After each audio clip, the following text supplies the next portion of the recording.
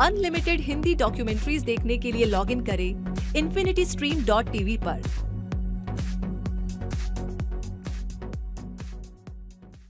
रात के समय खुले आकाश में ये टिमटिमाते तारे, जो पूरे आकाश में मोतियों की तरह बिखरे हुए हैं, ये मानव को शुरू से ही आकर्षित करते हुए आए हैं।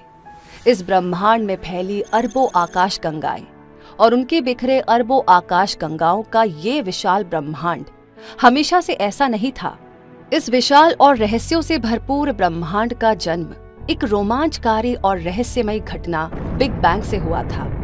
शुरुआत से ही मनुष्य ने अपनी कल्पना शक्ति और विज्ञान की सहायता से इसके रहस्यों को जानने की कोशिश की है। कभी मनुष्यों को लगता था कि ये आकाश भगवान ने बनाया है। इसे भगवान अपनी मर्ज़ी से चलाता है और पूरे ब्रह्मांड पर शासन करता है। आकाश में बिखरे अनगिनत तारों को देखकर लगता है कि ये ब्रह्मांड अनंत है। इसका कोई अंत नहीं है। जब विज्ञान अपनी शैशव अवस्था में था, तब लगता था कि ना तो इस ब्रह्मांड का कभी जन्म हुआ था और ना ही आने वाले समय में ये कभी खत्म होगा। ना तो सूर्य से बड़ा कोई और तारा हो सकता है और ना ही इसकी रोशनी कभी खत्म होगी। सूरज हमेशा से था, है और आगे भी हमेशा ही रहने वाला है। लेकिन जैसे जैसे विज्ञान ने अपने पंख खोलने शुरू किए तो खुलने वाले रहस्यों ने मनुष्य की प्राचीन सभी धारणाओं को तोड़ दिया और इसके प्रति और जिज्ञासा जगा दी। इस अनंत से लगने वाले ब्रह्मांड का जन्म एक छोटे से पॉइंट से हुआ है। अगर मैं ये कहूँ कि उस छोटे से पॉइंट में हुए चमत्कारी विस्फोट, यानी बिग बैंग से ही, इस अनंत तक फैले अनगिनत तारों से भरे आकाश का जन्म हुआ है तो शायद आप मेरी बात का यकीन नहीं करेंगे। लेकिन विज्ञान यही मानता है, ब्रह्मांड के जन्म से पहले कुछ भी अस्तित्व में नहीं था। ना तो स्पेस था और ना ही समय था, ना जीवन था और ना ही जीवन की ये सारी संभावनाएँ थी। ब्रह्मांड के जन्म से पहले ये सौ अरब आकाश गंगाएँ और हर एक आकाश गंगा में फैले सौ अरब तारे एक ही पॉइंट में थे। इस पॉइंट का आकार परमाणु से भी छोटा था। इस पॉइंट में अनंत ऊर्जा समाहित थी। लेकिन वैज्ञानिक आज तक इस बात का पता नहीं लगा पाए हैं कि उस पॉइंट में क्या हुआ, कि ये विशाल ब्रह्मांड अस्तित्व में आया। उस छोटे से पॉइंट से क्या टकराया? या फिर वो छोटा सा पॉइंट किस चीज़ से टकराया कि उसमें एक बड़ा विस्फोट, यानी बिग बैंग हो गया और पलक झपकते ही ये विशाल ब्रह्मांड अस्तित्व में आया। वैसे कुछ वैज्ञानिकों को लगता है कि इस छोटे से पॉइंट में ऊर्जा को बांधे रखने के लिए ब्रह्मांड के जन्म से पहले इस पर एक ताकत काम कर रही थी। उस समय ना तो समय था और ना ही स्पेस जैसे ही उस ताकत का कंट्रोल इस पॉइंट पर कम हुआ, वैसे ही वो समय की गांठ खुल गई। समय की गांठ खुलते ही ये छोटा सा पॉइंट फैलने लगा और देखते ही देखते सेकंड के कुछ ही पल में उस पॉइंट के अंदर भरी हुई ऊर्जा और मैटर का फैलाव इस पूरे ब्रह्मांड में फैल गया।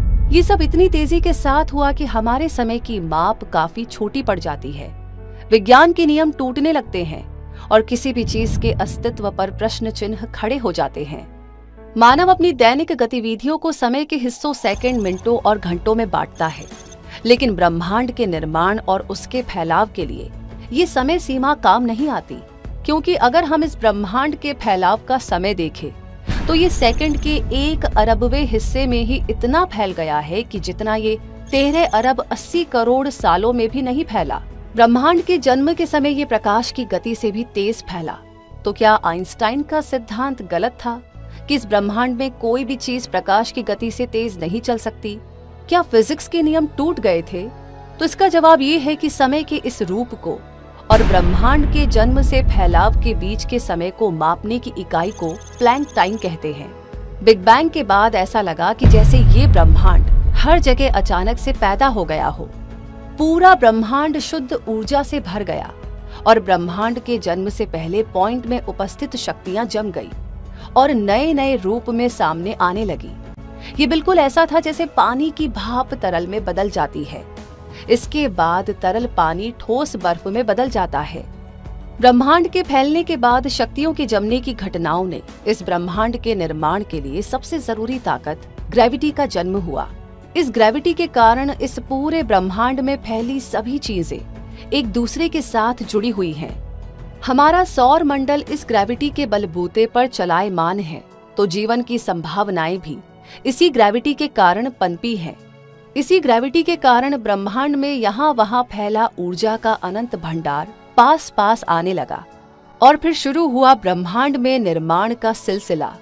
ये सब इतनी तेज़ी के साथ हो रहा था कि अभी एक सेकंड भी पूरा नहीं हुआ था। समय के बहुत ही छोटे छोटे से हिस्से में ये निर्माण प्रक्रिया शुरू हो रही थी। ये इतनी परफेक्शन के साथ शुरू हुई कि यदि जन्म लेने वाली ग्रेविटी का मान निर्माण के लिए ना तो ज़्यादा था और ना ही कम।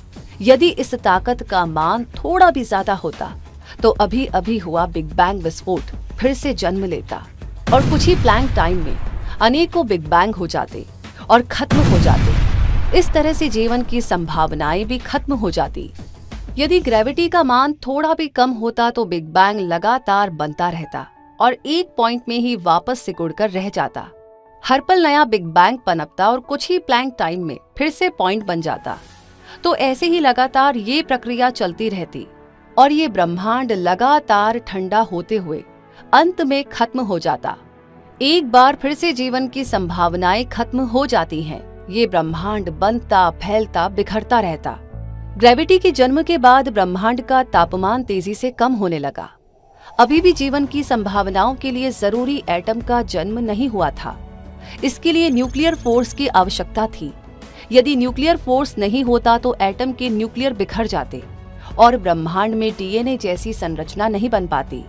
प्लैंक टाइम के एक करोड़वे हिस्से में ब्रह्मांड का तापमान काफ़ी कम हो गया था और इस समय एक नई ताकत स्ट्रॉन्ग फोर्स और फोक्चर्ड सुपर फोर्स का जन्म हुआ। इसी के साथ ब्रह्मांड में निर्माण की प्रक्रिया शुरू होने लगी और ब्रह्मांड का एक हिस्सा तेज़ी के साथ फैलने लगा। ब्रह्मांड इन्फ्लुएंस की प्रक्रिया से गुजरने लगा। इसका वॉल्यूम 10 की पावर 19 की स्पीड से बढ़ने लगा। इसे हम इस तरीके से समझ सकते हैं कि किसी रेत के कण का आकार फैलते हुए हमारे सौर मंडल के आकार से भी बड़ा हो जाए। इसके फैलने की गति बहुत तेज थी। ये गति प्रकाश की गति से बहुत बहुत ज़्यादा थी। इसका मतलब तो ये हुआ कि इसने आइंस्टाइन के प्रकाश की गति के नियम को तोड़ दिया। आइंस्टाइन की स्पेशल थ्योरी ऑफ़ रिलेटिविटी कहती है कि इस ब्रह्मांड में किसी भी वस्तु की गति प्रकाश की गति से तेज नहीं हो सकती। इससे हमें लगता है कि इन्फ्लुएंस की प्रक्रिया से गुजरते समय ब्रह्मांड ने आइंस्टाइन के प्रकाश की गति के नियम को तोड़ा है। लेकिन विज्ञान कहता है कि इस प्रक्रिया में कोई सिद्धांत नहीं टूटा, क्योंकि इन्फ्लुएंस के इस उथल पुथल भरे समय के दौरान सभी चीज़ें अपनी ही जगह थी, लेकिन इनके बीच का स्पेस तेज़ी से बढ़ रहा था। ये इतना तेज़ी से बढ़ने लगा कि जैसे कि प्रकाश की गति से भी तेज हो। बिग बैंग के समय चारों तरफ़ फैले पदार्थ का वॉल्यूम दस की घात के रूप में तेज़ी से फैल रहा था। इन्फ्लुएंस ने ब्रह्मांड में हर दिशा में चारों ओर समान रूप से समान संख्या में अलग अलग गैलेक्सीज को बिखेर दिया। यही रीजन है कि जब हम ब्रह्मांड की मैपिंग करते हैं तो हमें हर दिशा में समान संख्या में तारे और गैलेक्सीज दिखाई देती हैं। ये सिर्फ़ अभी तक सैद्धांतिक रूप से ही परिभाषित था। इसका कोई भी वैज्ञानिक सबूत नहीं था। जब तक इसका कोई वैज्ञानिक सबूत नहीं मिलता, तब तक इन्फ्लुएंस सिर्फ़ एक सस्पेंस ही बना रहा। इन्फ्लुएंस है या नहीं इसकी जानकारी के लिए हमें ब्रह्मांड के जन्म के शुरुआती पहले सेकंड में झांकना होगा। यानी हमें समय में लगभग तेरह अरब प्रकाश वर्ष पीछे जाना होगा। ये संभव नहीं है, लेकिन एक तरीका है जिससे समय में काफ़ी पीछे तक जाया जा सकता है। इसके लिए हमें अपने अंतरिक्ष की गहराइयों में जाना होगा। जब हम रात में चमकते तारों को देखते हैं तो हमें वर्तमान की जगह हमारा बीता हुआ कल नज़र आता है। सुबह होते ही सूरज की रोशनी को हमारी धरती तक पहुँचने में लगभग आठ मिनट तीस सेकंड का समय लगता है। इसका मतलब है कि सूरज हमसे आठ मिनट प्रकाश की दूरी पर स्थित है। इसका अर्थ है कि यदि सूरज अभी खत्म हो जाए तो हमें इसका पता आठ मिनट तीस सेकंड के बाद चलेगा। हम सूरज की आठ मिनट तीस सेकंड पुरानी तस्वीर देखते हैं। इसी तरह से यदि हम किसी सुपरनोवा के स्टेलर विस्फोट की तस्वीर देखते हैं तो वो एक लाख सड़सठ हज़ार वर्ष पुरानी होती है। ये वो समय है जब पहली बार धरती पर मनुष्य ने जन्म लिया था, क्योंकि सुपरनोवा का स्टेलर विस्फोट पृथ्वी से लगभग एक लाख सड़सठ हज़ार प्रकाश वर्ष की दूरी पर हुआ है। प्रकाश वर्ष का अर्थ है कि प्रकाश के द्वारा एक साल में तय की गई दूरी। ये दूरी हमारी धरती के लिए काफ़ी ज़्यादा बड़ी है, लेकिन दूर तक फैले अंतरिक्ष के लिए ये सिर्फ़ मिलीमीटर, सेंटीमीटर जैसी ही है। प्रकाश एक सेकंड में लगभग तीन लाख किलोमीटर की दूरी तय करता है, और इस हिसाब से प्रकाश एक साल में लगभग नौ दशमलव चार छह एक ट्रिलियन किलोमीटर की दूरी तय करता है। जब हम अंतरिक्ष की ओर ज़्यादा गहराइयों में झांकते हैं तो हमें ऐसी गैलेक्सीज भी मिलती है जो पृथ्वी से लगभग बारह तेरह अरब प्रकाश वर्ष दूर होती हैं। यानी हम उस गैलेक्सीज की आज की तस्वीर नहीं देखते हैं, बल्कि उसके जन्म के समय की तस्वीर हमें दिखाई देती है। हो सकता है कि हमें इतनी दूरी पर दिखाई देने वाली चीज़ आज अंतरिक्ष में उपस्थित हो भी या नहीं भी। ये बिल्कुल किसी साइंस फिक्शन मूवी के सीन जैसा ही लगता है। या फिर कहे कि हमारे पास अपने अतीत में झांकने की एक टाइम मशीन है, जो हमें ब्रह्मांड के जन्म के बाद की तस्वीर दिखाती है। यहाँ इस दूरी पर हमें बनी हुई गैलेक्सीज ही नज़र आती है। लेकिन इन्फ्लेशन है या नहीं, इसके लिए हमें गैलेक्सीज के बनने से पहले के समय में जाना होगा। लेकिन ये संभव नहीं लगता, क्योंकि अंतरिक्ष में स्थित हबल टेलीस्कोप इतनी ही दूरी तक देख सकती है। हबल टेलीस्कोप में ब्रह्मांड का ऐसा ही इलाका नज़र आता है। जहाँ पर तारों और गैलेक्सीज के भंडार है। लेकिन गैलेक्सीज के बनने से पहले और बिग बैंग के समय क्या हुआ था? इसके लिए हमें और भी गहराई में जाना होगा। कई बार छोटी छोटी चीज़ें भी ब्रह्मांड के अद्भुत रहस्यों को खोल देती है। और इसका जवाब हमें टीवी की स्क्रीन पर नज़र आने वाली झिलमिलाहट में नज़र आता है। सन 1964 में रॉबर्ट विलियमसन और ओर्नो विंजीनियर्स दोनों ही भौतिक वैज्ञानिक अंतरिक्ष से आने वाली रेडियो तरंगों को सुन रहे थे। उन्हें हर बार रेडियो तरंगों की आवाज़ के पीछे हमिंग सुनाई दे रही थी। दोनों ने सोचा कि ऐसा शायद रिसीवर में जमी हुई कबूतरों की बीट के कारण हो रहा है। दोनों वैज्ञानिकों ने रिसीवर की सफ़ाई कर दी, ताकि अब और ज़्यादा साफ़ तरीके से ब्रह्मांड से आने वाली रेडियो तरंगों को सुना जा सके। लेकिन हुआ इसका उल्टा। अब रेडियो तरंगों के पीछे सुनाई देने वाली हमिंग बहुत ज़्यादा बढ़ गई थी। दोनों ने इस बात का परीक्षण करके निष्कर्ष निकाला कि ये आवाज़ ब्रह्मांड के जन्म के तुरंत बाद की है। ब्रह्मांड के जन्म के बाद अंतरिक्ष में एक बड़ा आग का गोला बना था, और तब से लेकर आज तक उस आग के गोले की लाइट लगातार ब्रह्मांड में घूम रही है। ब्रह्मांड के जन्म के तेरह लाख अस्सी हज़ार साल बाद ब्रह्मांड में चारों तरफ़ इलेक्ट्रॉन, न्यूट्रॉन और प्रोटॉन ही फैले हुए थे। इस कारण पूरे ब्रह्मांड में भयंकर कोहरा छाया हुआ था। इस कोहरे के बीच जब इलेक्ट्रॉन और प्रोटॉन आपस में मिले तो अचानक ही ये कोहरा खत्म हो गया और तब पहली बार प्रकाश ने गति पकड़ी। तब से लेकर आज तक ये प्रकाश लगातार अंतरिक्ष में आगे बढ़ रहा है। ये बिल्कुल ऐसा है जैसे कि सर्दियों में छाया हुआ कोहरा कुछ दूर तक हमें कुछ भी देखने से रोकता है। लेकिन कुछ समय के बाद अचानक ही ये कोहरा हट जाता है। और हमें सब कुछ साफ़ साफ़ दिखाई देने लगता है।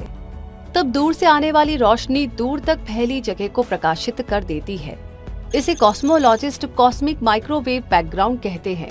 ये कॉस्मिक माइक्रोवेव बैकग्राउंड ब्रह्मांड का नक्शा है, जो हमें ब्रह्मांड के जन्म के शुरुआती पलों की जानकारी देता है। मई 2009 में यूरोपियन एजेंसी ने एक प्लैंक नाम के सैटेलाइट को सूरज की कक्षा में स्थापित किया। इसका उपयोग एजेंसी ने अंतरिक्ष के कॉस्मिक माइक्रोवेव बैकग्राउंड का नक्शा लेने में किया। इस सैटेलाइट में लगे सेंसर इतने ज़्यादा सेंसिटिव है कि ये एक डिग्री तापमान के 10 लाखवें हिस्से को भी आसानी से माप सकते हैं। इस सैटेलाइट की सहायता से वैज्ञानिकों ने कॉस्मिक माइक्रोवेव बैकग्राउंड को तैयार किया। ये खोज मानव जाति की सबसे बड़ी खोज में से एक है। ये खोज डीएनए की खोज के बराबर ही थी।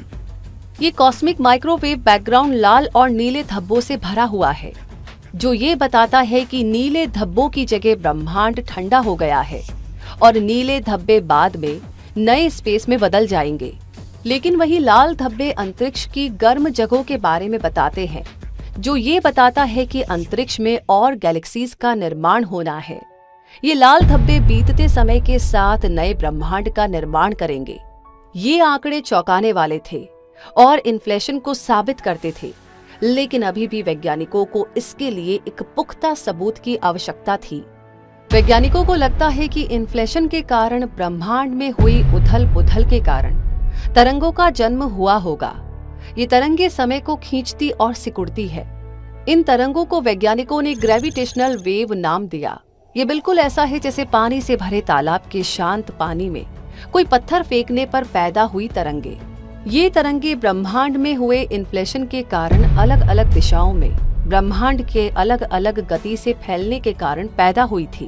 वैज्ञानिकों को लगता है कि इन्फ्लेशन कभी नहीं रुकने वाली एक प्रक्रिया है, और ये प्रक्रिया नए ब्रह्मांड के निर्माण के लिए जिम्मेदार है।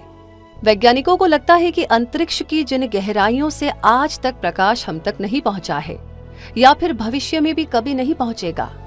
ऐसी जगहों पर भी इन्फ्लेशन हुआ था। और आज भी हो सकता है कि वहाँ इन्फ्लेशन चल रहा हो। मार्च 2014 का दिन वैज्ञानिकों के लिए एक बहुत ही बड़ी खुशखबरी लेकर आया। मार्च 2014 में दक्षिणी ध्रुवी पर लगे एक सैटेलाइट ने अंतरिक्ष में फैलने वाली ग्रेविटेशनल वेव को ढूंढ निकाला और इसके आंकड़े काफ़ी चौंकाने वाले थे। इन आंकड़ों ने इन्फ्लेशन की उपस्थिति पर पक्की मुहर लगा दी। इन्फ्लेशन का सिद्धांत हमें बताता है कि क्यों अंतरिक्ष में चारों तरफ़ समान रूप से गैलेक्सीज और तारे बिखरे हुए हैं। इन्फ्लेशन एक ऐसी प्रक्रिया है जो छोटी सी नज़र आने वाली जगह में सेकंड के कुछ ही हिस्से में तेज़ी से, एक नए और विशाल ब्रह्मांड को जन्म दे सकता है। इसका अर्थ है कि जब इन्फ्लेशन रुकता है, तब वो उस जगह पर नए ब्रह्मांड को जन्म देता है। इसका मतलब तो ये हुआ कि हर समय स्पेस में बहुत सारे ब्रह्मांड जन्म ले रहे हैं। ये इस बात पर मुहर लगाते हैं कि इन्फ्लेशन के कारण स्पेस में हमारे जैसे हज़ारों ब्रह्मांड हो सकते हैं। इसका सीधा सा अर्थ है कि जिस तरह से 100 अरब गैलेक्सीज में 100 अरब तारे हैं तो वही इस तरह से 100 अरब ब्रह्मांडों में से एक हमारा ब्रह्मांड हो। हो सकता है कि हमारे से मिलती जुलती धरती हो, उस पर हमारे से मिलते जुलते जीवन की संभावनाओं में मिलते जुलते लोग रहते हों। अब अगर ये बात सही है तो हमारे इस ब्रह्मांड का आकार हमारी सोच से काफ़ी ज़्यादा बड़ा हो सकता है। लेकिन आंकड़े इशारा करते हैं कि स्पेस की तुलना में हमारे ब्रह्मांड का आकार अभी भी बेसबॉल जितना ही बड़ा है। इन्फ्लेशन के बाद ब्रह्मांड की उम्र अभी एक सेकंड के एक खरबवे खरबवे खरबवे जितना ही पुराना है। तो वही इस समय इसका तापमान एक हज़ार खरब खरब डिग्री जितना है। इस समय इस ब्रह्मांड में सिर्फ़ ऊर्जा ही ऊर्जा भरी हुई है। इस समय इतने ज़्यादा तापमान में ब्रह्मांड में सिर्फ़ रेडिएशन ही रेडिएशन भरा हुआ था। इस समय ब्रह्मांड ऊर्जा का एक गोला था और ये लगातार ऊर्जा को झोंके जा रहा था, ताकि हमें आज नज़र आने वाली हर चीज़ का निर्माण हो सके। अगर उस समय ऊर्जा ही ऊर्जा भरी हुई थी तो ये मटेरियल से भरा ब्रह्मांड कैसे बना? लोगों को लगता था कि ऐसा नहीं है। क्योंकि ऊर्जा और मटेरियल दोनों ही अलग अलग चीज़ें हैं। लोगों को लगता था कि ऊर्जा ना तो मटेरियल में बदल सकता है और ना ही मटेरियल ऊर्जा में।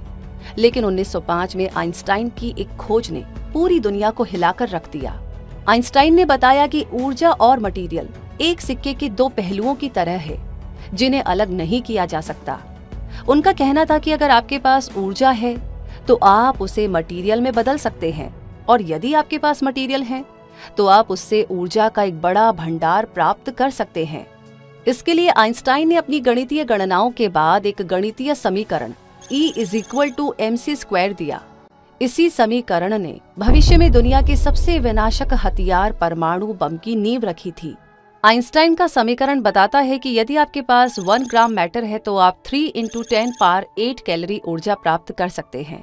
आइंस्टाइन का समीकरण कहता है कि ब्रह्मांड में पाए जाने वाला हर एक पदार्थ ऊर्जा का एक कॉन्सेंट्रेट रूप है।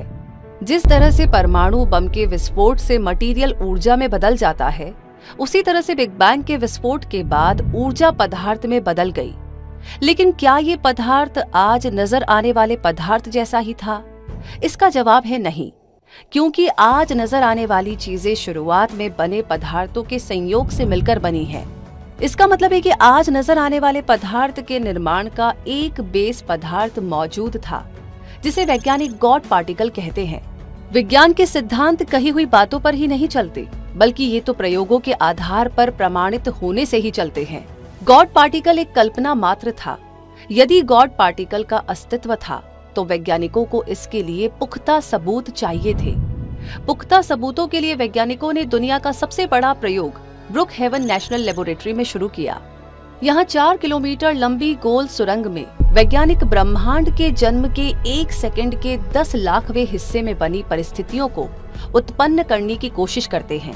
यहाँ वैज्ञानिक एक सेकंड में अठहत्तर हज़ार बार गोल्ड के न्यूक्लियाई को फायर करते हैं और उनकी टक्कर स्टार डिटेक्टर में करवाते हैं। ये टक्कर बड़ी ज़बरदस्त होती है और इससे चारों ओर कण ही कण बिखर जाते हैं। ये बिल्कुल ऐसा होता है जैसे कि जब दो कारें एक साथ स्पीड से एक दूसरे से टकराती हैं, तो उनकी विंडो में लगे कांच चारों तरफ़ बिखर जाते हैं। यहाँ वैज्ञानिक प्रोटोन प्रोटोन के बीच बड़ी टक्कर करवाते हैं। टक्कर के बाद बड़ी मात्रा में कण पैदा होते हैं और इन कणों की संख्या कणों के टकराने की स्पीड पर निर्भर करती है। इन कणों को वैज्ञानिकों ने क्वार्क नाम दिया। जब वैज्ञानिकों ने इसका विश्लेषण किया तो पाया कि इस समय एक विशेष प्रकार का तरल बनता है, लेकिन उसका अस्तित्व ज़्यादा समय तक नहीं रहता है। ये ऐसा तरल होता है जो आज से पहले कभी उपस्थित नहीं था। हो सकता है ये तरल ब्रह्मांड के जन्म के समय मौजूद रहा हो। इस तरल की खास बात यह है कि ये पानी के मुकाबले काफ़ी अच्छे से बहता है। इस समय ब्रह्मांड में उपस्थित एक शक्ति स्ट्रॉन्ग फोर्स ने प्रोटॉन के साथ क्वार्क को जोड़ दिया और धीरे धीरे मैटर का निर्माण होने लगा। लेकिन इस समय बने मैटर का कोई मास नहीं था, जबकि आज के समय में उपस्थित मैटर में मास होता है। बिना मास के कोई भी मैटर प्रकाश की गति से दौड़ेगा और वो एक लाइट की तरह नज़र आएगा। अब वैज्ञानिकों के लिए सबसे बड़ा सरदर्द मैटर का मास है कि जब ब्रह्मांड के जन्म के समय मैटर का कोई खास मान नहीं था तो आज के ब्रह्मांड में मास आया तो कहाँ से आया? इसका जवाब दिया 1970 के दशक में पीटर हिक्स ने। उन्होंने बताया कि ब्रह्मांड में एक फ़ील्ड काम करता है, जिसे उनके सम्मान में हिक्स फ़ील्ड कहते हैं। ये फ़ील्ड ब्रह्मांड में दिखाई नहीं देता है, लेकिन इस फ़ील्ड के कारण ही ब्रह्मांड में मास की उत्पत्ति होती है। पीटर हिक्स कहते हैं कि ब्रह्मांड में कणों की उपस्थिति बढ़ने से इस ब्रह्मांड में हिक्स फ़ील्ड के साथ पदार्थ के निर्माण के बुनियादी कण आपस में जुड़ने लगे और उन कणों में मास पैदा होने लगा। हिक्स फ़ील्ड के साथ कोई भी कण जितना ज़्यादा जुड़ता है, उतना ही ज़्यादा उसका मास बढ़ने लगता है। और यही रीजन है कि शुरुआती ब्रह्मांड के मुकाबले आज के ब्रह्मांड के कणों में मास की उपस्थिति है।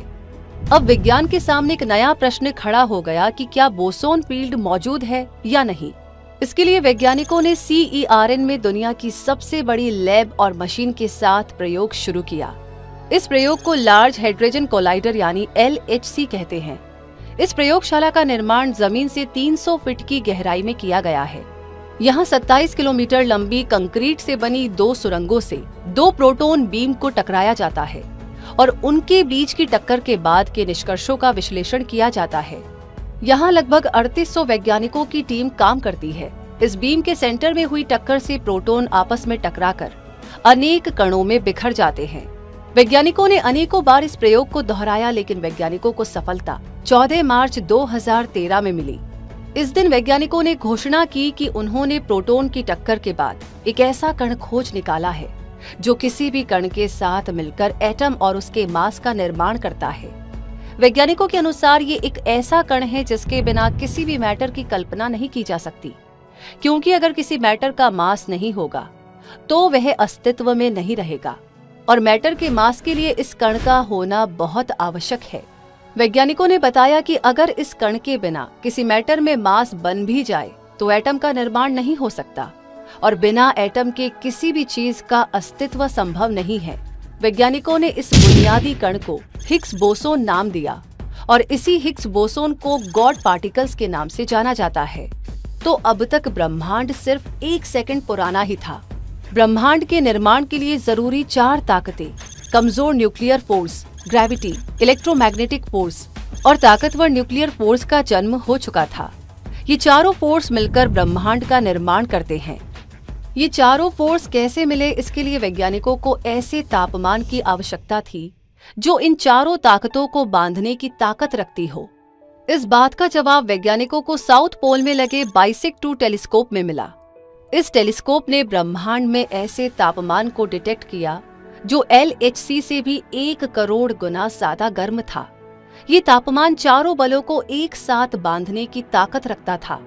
अब ब्रह्मांड में मैटर ही मैटर फैल गया था। लेकिन इसी समय फिर से एक नई समस्या उत्पन्न हो गई। ब्रह्मांड में प्रोटॉन की टक्कर के बाद पैदा हुई ऊर्जा से मैटर और एंटी मैटर बने। दोनों ही प्रकृति में विपरीत थे और जब दोनों एक साथ मिलते तो एक दूसरे का अस्तित्व ही खत्म कर देते। अब ब्रह्मांड में अस्तित्व का भयानक युद्ध शुरू हुआ। लेकिन इस युद्ध में जीत मैटर की हुई और एंटी मैटर हार गया। यानी कि ब्रह्मांड में मैटर की संख्या ज़्यादा थी। और एंटी मैटर की संख्या कम, और इसी असंतुलन से हमारे ब्रह्मांड का जन्म हुआ। लेकिन एंटी मैटर और मैटर की संख्या असमान क्यों रही? इसका जवाब मिलना बाकी है, और इसी के साथ अनेक ब्रह्मांड के रहस्य का खुलना भी बाकी है। ब्रह्मांड के जन्म के एक सेकंड के बाद ही ब्रह्मांड का इतना विस्तार हो चुका था, जितना कि पिछले तेरह अरब सालों में भी नहीं हुआ है। ये पूरी कहानी ब्रह्मांड के जन्म के सिर्फ़ एक सेकंड की कहानी है। अगर हम इसे शॉर्ट में समझे तो ये बस इतना सा है कि छोटे से गोले के विस्तार के बाद हुए भयंकर विस्फोट के कारण ग्रेविटी के जन्म के बाद स्ट्रॉन्ग फोर्स पैदा हुई। इसके बाद इन्फ्लेशन का उथल पुथल भरा दौर शुरू हुआ और देखते ही देखते हिग्स फ़ील्ड और हिग्स बोसोन कणों का जन्म हो गया। इससे मैटर बने और मैटर में मास के बनने से परमाणुओं का निर्माण हुआ। और फिर छिड़ा एक युद्ध मैटर और एंटी मैटर के बीच। दोनों के असंतुलन के कारण बना हमारा ये ब्रह्मांड।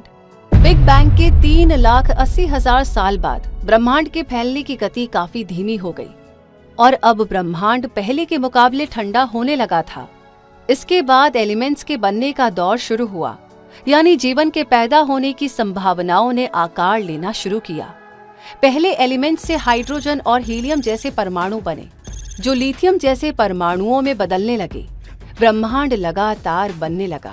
बिग बैंग के 100 मिलियन सालों के बाद, पहली बार हमारे इस ब्रह्मांड में सुपरनोवा का विस्फोट हुआ और इससे पहली बार ब्रह्मांड में तारों का जन्म हुआ। अब ब्रह्मांड तारों से भरा इलाका था। ब्रह्मांड लगातार अपने आप को विकसित कर रहा था और लगातार ठंडा हो रहा था। ये काफ़ी धीरे चलने वाली प्रक्रिया का हिस्सा था। अब ब्रह्मांड में जिधर भी नज़र डाले, उधर तारों का झुंड नज़र आता था। ब्रह्मांड में काम करने वाली चार ताकतों ने बिग बैंग के 500 मिलियन साल के बाद काफ़ी धीमी प्रक्रिया के बाद गैलेक्सीज का निर्माण करना शुरू कर दिया। लेकिन जीवन अभी भी बहुत दूर था, क्योंकि जीवन की संभावनाओं के लिए बुनियादी तापमान अभी भी काफ़ी दूर था। बिग बैंग के चार बिलियन सालों के बाद प्लैनेट्स यानी कि ग्रहों के बनने की प्रक्रिया शुरू हुई। और बिग बैंग के नौ बिलियन सालों के बाद पहला सोलर सिस्टम नज़र आया, जिसमें एक तारे के चारों ओर बहुत सारे प्लैनेट चक्कर लगा रहे थे। लगभग तेरह बिलियन सालों के बाद आज जैसी परिस्थितियों से भरा अद्भुत ब्रह्मांड नज़र आया, जब रात में खुले आकाश में नज़र दौड़ाते हैं। तो ये हमें बताता है कि अभी मेरे अंदर बहुत कुछ ऐसा है, जो पता चलने पर आपको आश्चर्य से भर देगा। आपको रोमांचित कर देगा। तो ये थी मेरे जन्म की कहानी, जो विनाशक विस्फोट से जन्म लेती है और अतीत में भारी उथल पुथल के बाद आज नज़र आने वाले आश्चर्यजनक सुंदर जीवन से भरपूर और प्यार से भरी दुनिया का निर्माण करती है। मेरी ये कहानी आपको बताती है कि जीवन का निर्माण हमेशा से ही, विनाश से ही हुआ है। मैं अभी भी लगातार बढ़ रहा हूँ और मेरे अंदर अभी भी निर्माण की प्रक्रिया जारी है। और ये लगातार चलती जाएगी।